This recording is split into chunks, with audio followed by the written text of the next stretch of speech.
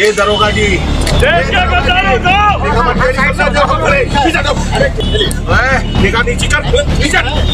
जा बाजू। बरेली के कलेक्ट्रेट में गुरुवार को तिरंगा यात्रा के साथ पहुँचे कैंट के भाजपा विधायक संजीव अग्रवाल आग बबूला हो गए। विधायक वहाँ मौजूद दरोगा पर भड़क गए। दरोगा से कहा निगाहें नीचे कर और पीछे हट। ज्ञापन ले रहे सिटी मजिस्ट्रेट ने विधायक को शांत कराया।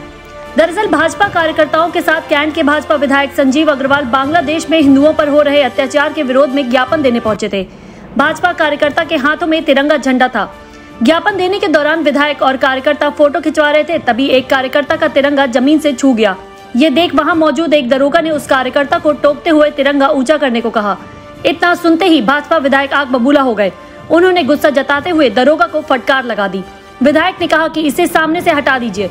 जब दरोगा ने विधायक को देखा तो विधायक ने कहा ए दरोगा पीछे हट निगाहें नीचे कर और पीछे हट। इसके बाद ज्ञापन लेने आए सिटी मजिस्ट्रेट ने विधायक को समझाया और दरोगा को वहाँ ऐसी हटने को कहा।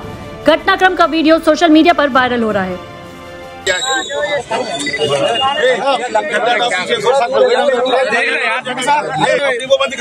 झंडा हटा भाई ऐसे नहीं करना भाई समझ नहीं आ रहा भाई वो झंडा उसको सही कर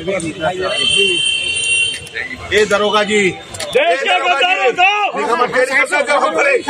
अरे अरे पीछे। आपसे कुछ कह रहे हैं अरे हो? पीछे अरे आप लगे